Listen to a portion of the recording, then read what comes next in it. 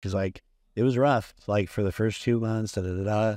And then like once March hit, she's like, I've never been so friggin' busy and like things are going. I'm like, that's great to hear that the market's moving somewhere. So uh, it's interesting. But yeah, aspects like you would never think that, oh man, money's tight. I should probably pull back my market.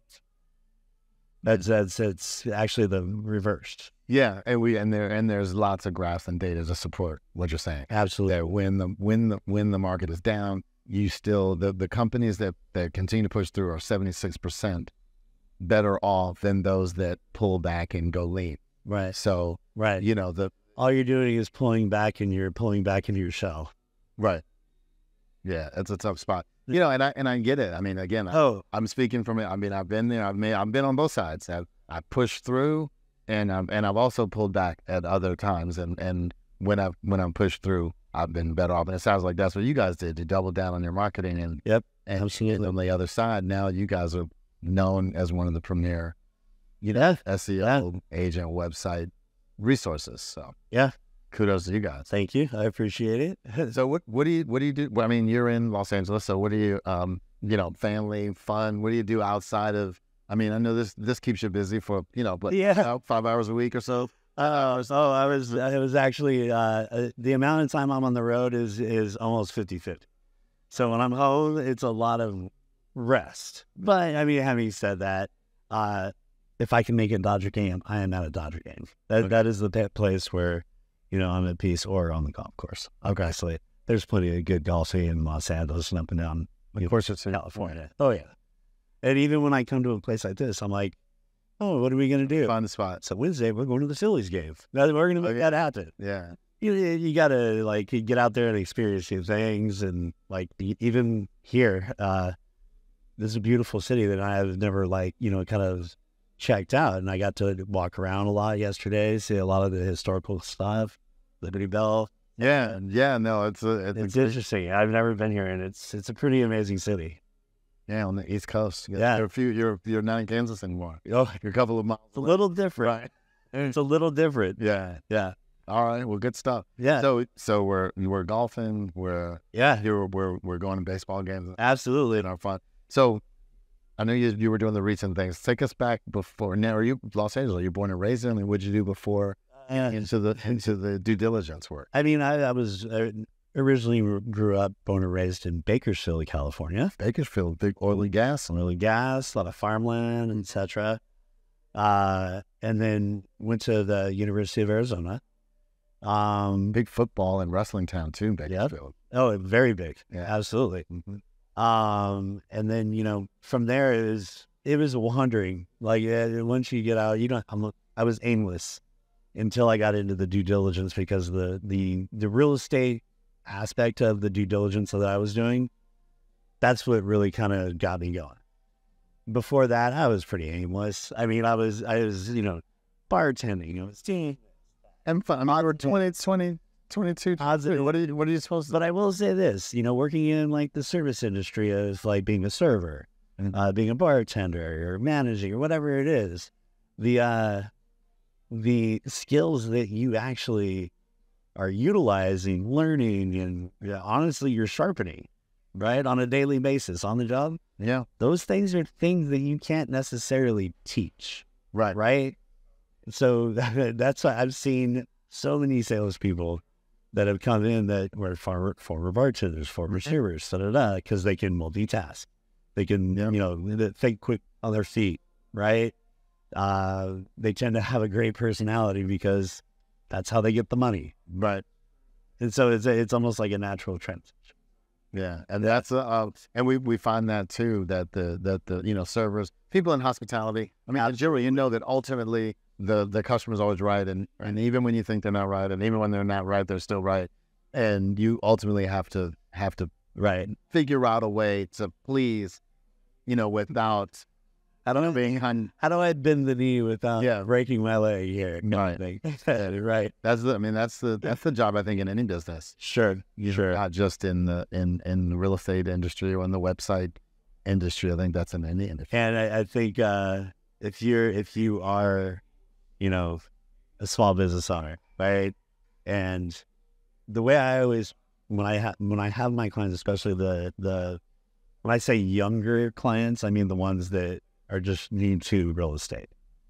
I don't forget, you are the company. You're the Right. company. You are the CEO. You're the brand. You're everything. You are the brand. You're the marketing. You're you're all of that. Mm-hmm.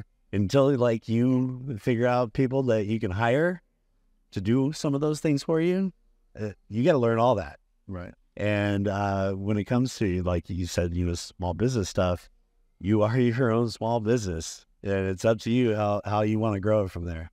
Yeah. If you don't have an assistant, you are the assistant.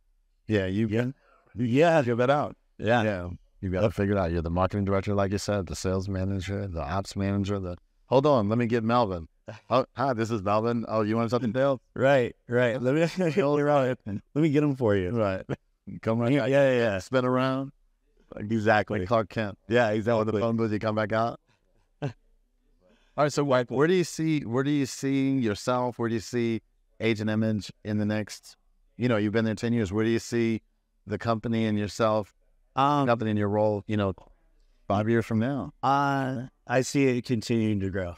To be honest with you, uh, the things that we're working on and the tools and the ecosystem that we're trying to build as well. Um, we always have done things where we we think about uh, best in class, right? It's hard to ever go somewhere where they do everything the best, Right. right? Uh, I always say, like, if you go to a restaurant, maybe they're great at steak, but the side side or the side sour or the bread's Yeah. awful, whatever it is. Yeah. But if you are able to utilize a company like ours and a company that does CRM at best, company that does, oh, they have this funnel system that I really like and it's easy to use, da da da da da. Those are the things we want to be able to say, hey, by the way, we've done our due diligence on all these other companies. Just so you know, that me seeing these right here, these are great companies. You should check these out. Not necessarily that we we're looking to be the end all be all for everyone, Mm-hmm. but I think there that there is something to be said for the um, education aspect. Nobody, uh, when you whenever you whenever you go through and you get your license as a as an agent, you know you pass your test or anything. Uh, there's no there's no information on. Oh yeah, yeah, yeah. Have you used Salesforce or like have you used the CRM Right. system before? Oh yeah. They don't teach that in the class. Right. How, how, what about marketing? What do you know about marketing? Right. It- it- none of that's really. They something. I think I might Right. probably supposed to. I heard that. Oh. I heard that word before. Um, and I think a lot of the things that we're focused on, at least right now, in in the next you know few years, are providing educational items, as well as tools like we're working on right now. That's actually free to use. Access. You go to access.com. Okay. That's something that's been in the works for a bit, and it's ready. Uh, it's a presentation platform. Okay. So listing presentations, digital open houses. Um, these are things that, you know, are for the agents. And I say for the agents by the agents because we use their feedback. Mhm. Hey, what am I missing here? Yeah. Right? I'll go to either whether it's our huge clients that, you know, you see on TV or even like some of the ones that have just been killing it for years. Hey, what would you put in this that I'm missing? Yeah. that's that's why you know when we go through things, whether it's building a new platform website or this you know access, it, it is truly built with the agents directly in mind. That's good that you get the feedback. So see what see what Christoph has to say. Yeah. Make some adjustments, right? Christoph always has something to say. Bro, he's got a lot to say. Yeah. Right, he's the best. Yeah. So no, that's good stuff, man. So um let me oh, let me hold on, let me see. Yeah. A quote of the day. Listen. Right. Henry. All right. It takes 20 years to build a reputation and five minutes to ruin it. If you think about that, you'll do things differently. Warren Buffett. That's Similar. that has a lot to do with what we just talked about. That's amazing. Yeah, We're gonna have to forward that. To yeah. So I could like I'm gonna send it to like you say I'm gonna slack that to the entire company. That's right. Yeah, Yeah. that's what you're. That's what you're saying. You, you're, you guys are spending a lot of time on the service and on Nurturing a relationship. nurturing, and then and then the business comes. You know, because you you said yourself, you're not a, a you're not overselling, overselling, overselling. Right. You're just serving, and and then it's amazing how that works. The universe mm-hmm. works. If they know you're the service is, is here, then the, the business will come.